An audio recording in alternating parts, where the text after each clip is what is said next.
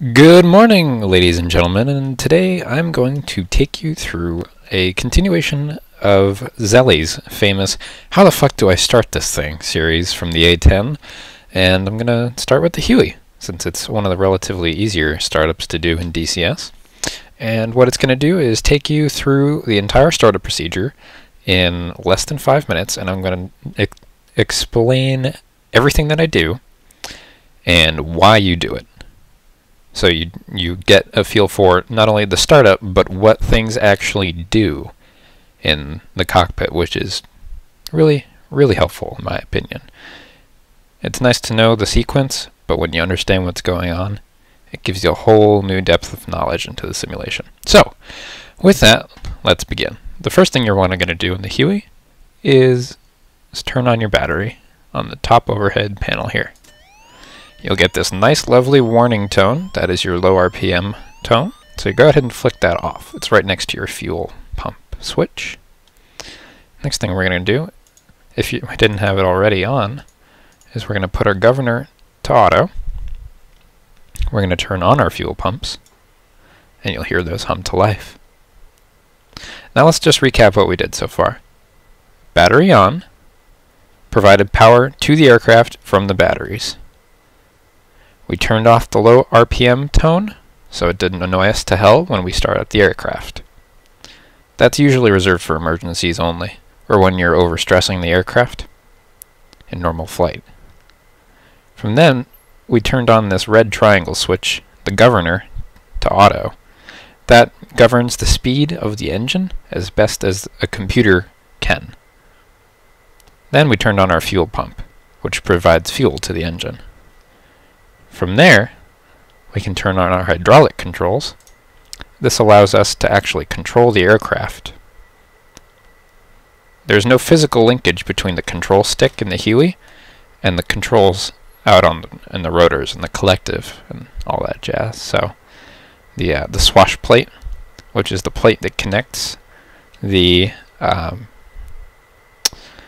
the rotor assembly, which you can see sort of moving now. That's all hydraulically controlled.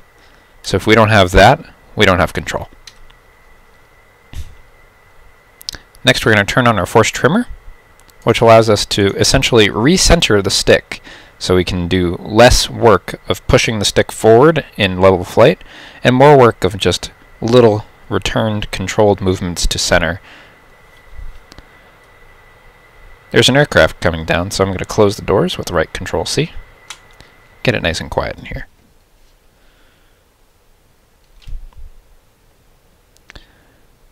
From here what you want to do is make sure that your generator switch cover is open and it's set to off. We don't want to be powering all our systems while we're trying to start the aircraft or else we won't have enough power to actually start the thing. Then put your starter gen to start your voltmeter can be set to main gen.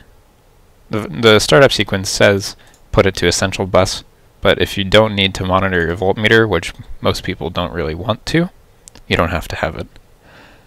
And then I put my AC power to AC phase.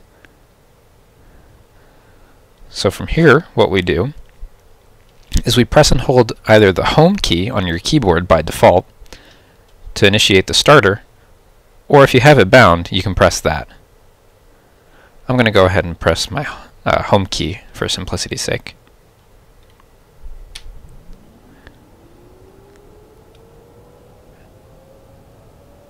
Oh, hello plane. Nice to see you.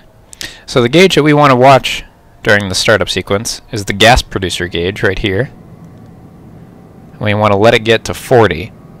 We have to crack open the throttle a little bit with page up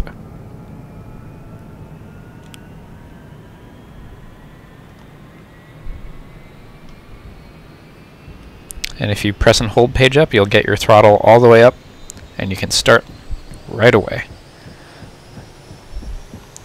Once the gas producer gauge gets to 40%, you can just let go on the home key. You'll see your rotor and engine RPMs rise and settle into the green.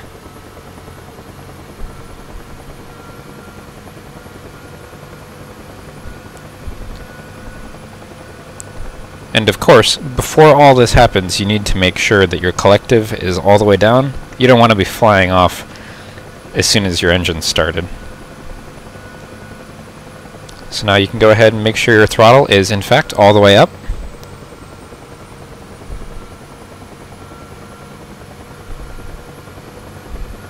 You turn it counterclockwise to increase the throttle, as you can see by the uh, lettering written on it.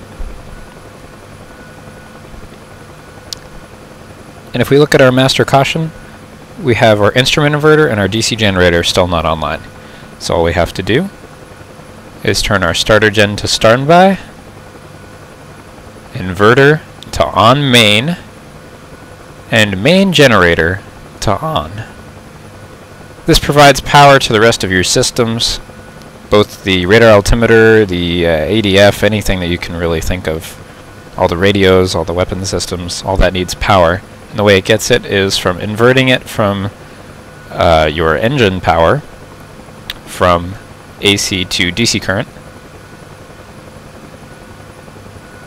And you need to generate that power from the main generator, and you can go ahead and close that switch cover. So that's the Huey. Pretty easy, pretty simple, rugged, reliable, and effective. Thanks for watching, and I'll see you in the next one.